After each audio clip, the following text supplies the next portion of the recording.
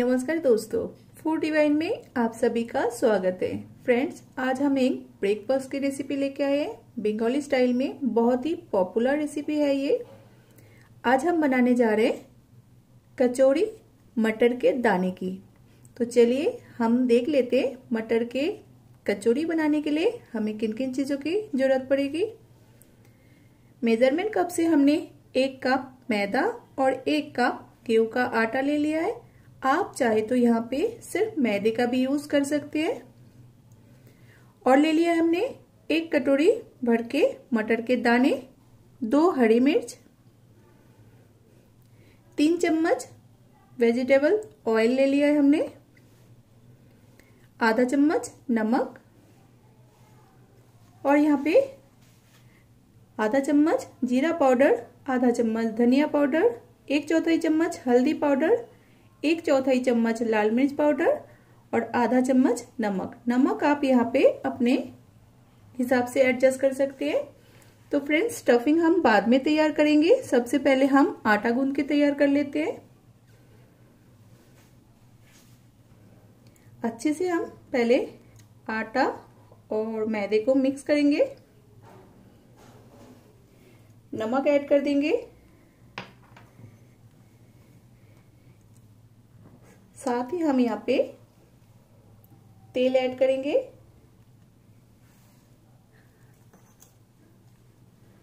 बहुत ही खस्ता हमारा ये कचौड़ी बन के तैयार होगा। तो अच्छे से हम पहले तेल को मिक्स करेंगे और आटा को गूंदने के लिए हमने नॉर्मल पानी लिया है।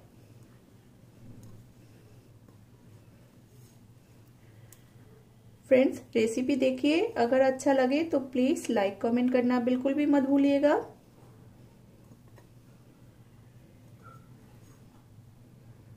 देखिए, इस तरीके से हम बाइंड करके चेक करेंगे कि मोइन हमारा इसमें सही है कि नहीं।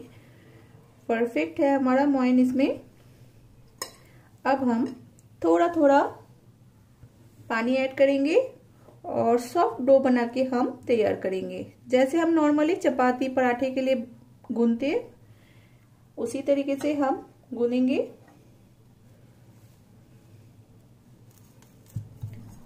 डो रेडी हो गया है हमारा। एक मिनट हम इसे और मसल लेंगे। और इतना आटा गूंदने में हमें आधे ग्लास पानी की ज़रूरत पड़े देखिए, सॉफ्ट हमारा डो बन के तैयार हुआ है। इसे हम ढक के साइड में रख देंगे। अब हम स्टफिंग के लिए मटर के दाने और हरी मिर्च को पीस लेंगे। फाइन पेस्ट नहीं बनाना हमें थोड़ा सा दरदरा पीसना है।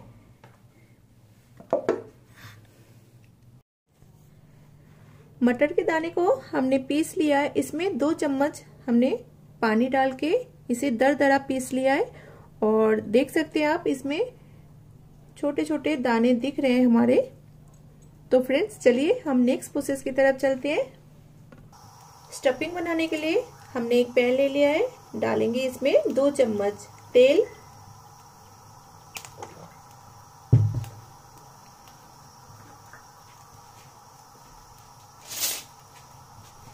तेल गरम हो जाने के बाद हम यहाँ पे डालेंगे थोड़ा सा हींग।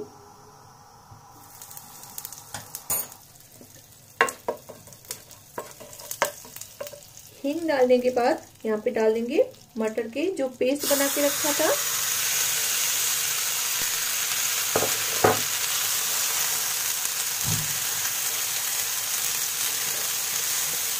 और हमें इसे मसाले डालने के बाद चार पाँच मिनट अच्छे से स्टफिंग को तैयार करना है। लगातार चलाते रहेंगे। बिल्कुल ड्राई करना है हमें इसे। मसाले भी ऐड कर देंगे यहाँ पे।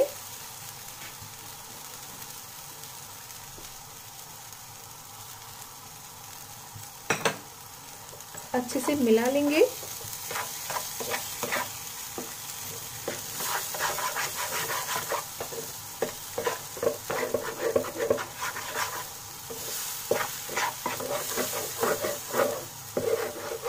ये कचौरी आप ब्रेकफास्ट में या इवनिंग में खा सकते हैं। बहुत ही इजी प्रोसेस है ये। और बहुत ही जल्दी बनने वाली रेसिपी है।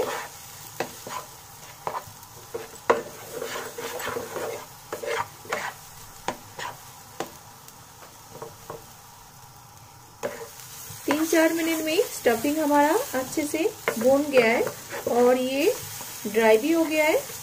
अब हम गैस का फ्लेम बंद कर देंगे और स्टफिंग को हम थोड़ा ठंडा होने का वेट करेंगे। उसके बाद हम कचौरी बेल के तैयार करेंगे। बंद कर देते हैं। फ्रेंड्स आटा भी हमारा सेट हो चुका है और स्टफिंग भी हमारा ठंडा है। थोड़ा सा हमने तेल ले लिया है। अब हम एक बार आटा को मसल लेंगे। और छोटे छोटे लोहिया काट के तैयार करेंगे पहले।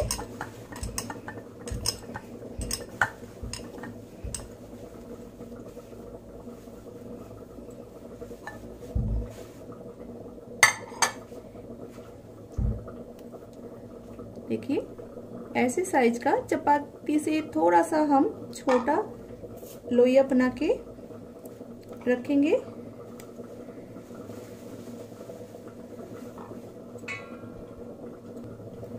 गोल कर लेंगे।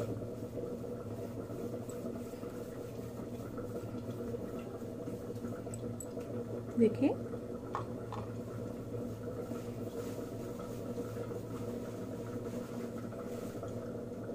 अब हम एक लोहिया उठाएँगे और इसे हम इस तरीके से कटोरी का सेप देंगे। थोड़ा सा अंदर की तरफ़ से प्रेस करते हुए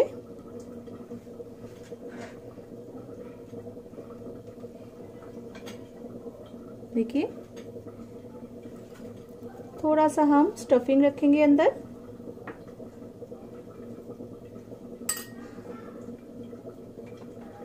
और इसे थोड़ा सा ऊपर की तरफ़ ऐसे करके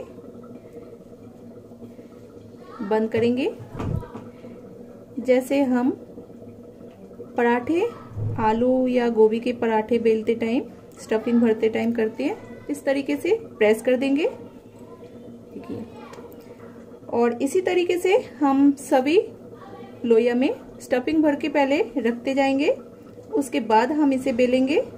देखिए, ऊपर और नीचे की तरफ़ हम थोड़ा सा अंदर की तरफ़ प्रेस करते हुए उंगली इस तरीके से घुमाएँगे। देखिए। थोड़ा सा स्टफिंग रखेंगे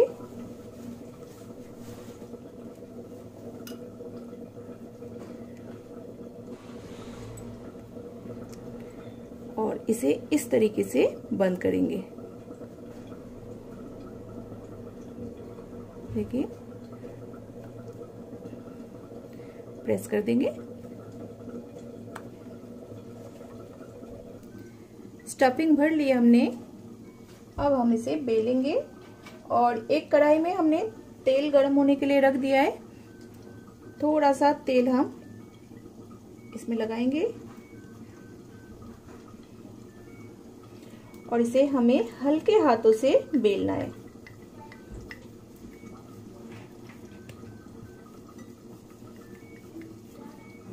आप इसे आटे से भी बेल सकते हैं, लेकिन तेल से ज़्यादा इजी पड़ेगा।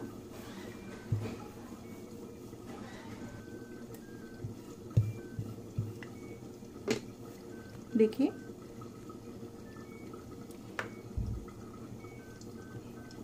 इसी तरीके से हम सभी कचौड़ी को बेल के तैयार कर लेंगे पहले। उसके बाद हम फ्राई करेंगे। हल्के हाथों से करना है, नहीं तो ये स्टफिंग हमारा बाहर आ जाएगा। कुछ कचौड़ियाँ हमने बेल के तैयार कर लिया है। तो फ्रेंड्स चलिए अब फ्राई करते हैं। एक पैन में हमने तेल गरम होने के लिए पहले रख दिया था। तेल जब हमारा गरम हो जाए गैस का फ्लेम हम सबसे पहले लो करेंगे और इसमें हम कचौरिया डाल देंगे। एक तरफ़ सीख जाने तक हम वेट करेंगे, उसके बाद पलट देंगे।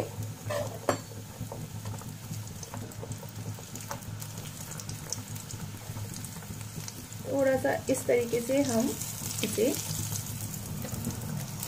गैस का फ्लेम हम मीडियम कर देंगे। पलट देते हैं।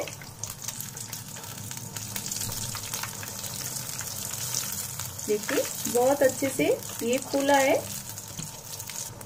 दोनों तरफ़ कचौड़ियों को हम अच्छे से कलर आने तक फ्राई करेंगे।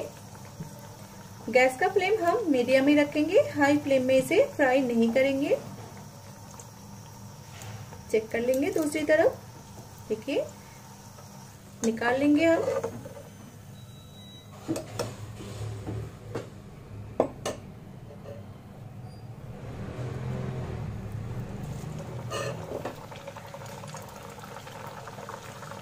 जब हम कचौरी तेल में डालें तो गैस का फ्लेम लो रखें। डालने के बाद गैस का फ्लेम आप मीडियम कर दें। अच्छे से फूल जाने तक हम एक तरफ़ रखेंगे, फूल जाएगा तो हम इसे पलट देंगे। देखिए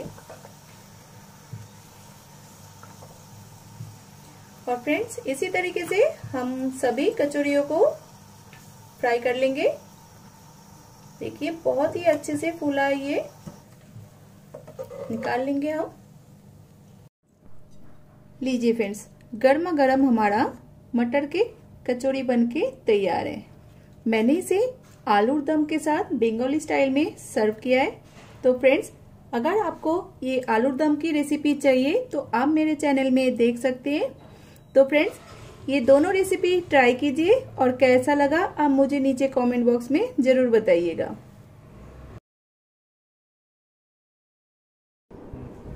तो फ्रेंड्स आशा करती हूँ आज का वीडियो आपको पसंद आए होंगे। अगर आपको आज का वीडियो मेरा पसंद आए तो प्लीज़ वीडियो को लाइक कमेंट शेयर कीजिएगा। और मेरे चैनल को सब्सक्राइब करने के लिए मेरे नीचे दिए गए मेरे चैनल के लोगों में आप क्लिक कर सकते हैं और लेटेस्ट वीडियोस के नोटिफिकेशन के लिए आप बेल आइकन को भी प्रेस कीजिए ताकि जब भी मैं वीडियो अपलोड करूँ, सबसे पहले आप लोगों को नोटिफिकेशन आ जाए और मेरे चैनल के दूसरा वीडियो देखने के लिए आप अपने राइट में क्लिक कर सकते हैं। तो फ्रेंड्स नए वीडियो के साथ फिर से मिलते हैं। तब तक के लिए धन्यवाद।